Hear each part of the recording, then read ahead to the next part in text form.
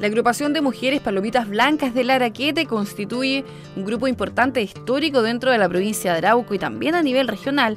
Su labor en la producción de tortillas con mariscos, sándwich y otros productos artesanales y gastronomía representa la identidad comunal y los años de dedicación que durante mucho tiempo fueron uno de los principales recursos del sector.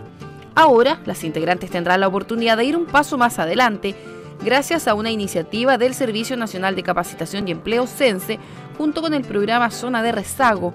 Un grupo de 30 mujeres podrá asistir a cursos de manejo con el fin de obtener una licencia de conducción clase B.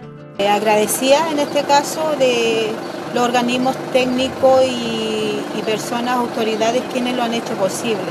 Es una gran oportunidad ya que somos zona de rezago las distancias desde ahora no serán un inconveniente, es una iniciativa que apoya el CENSE el primer curso de licencia de conducir les va a permitir poder trasladarse a otros sectores debido a los nuevos eh, trazos de la carretera y poder llegar con mayor prontitud y de forma independiente hacia su lugar nuevo de trabajo. Y el segundo curso le abre una tremenda oportunidad porque además va a tener un subsidio de herramientas de hasta 220 mil pesos. Nosotros creemos que en la medida que las personas las palomitas blancas puedan acceder a estas capacitaciones van a tener mejores oportunidades, lo que va a trascender también para una zona de rezago.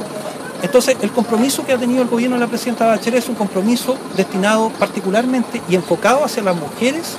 El curso de manejo comenzará en diciembre con un grupo de 15 integrantes, contando con una duración total de 70 horas y el curso de administración de restaurantes y hoteles tendrá un total de 80 horas.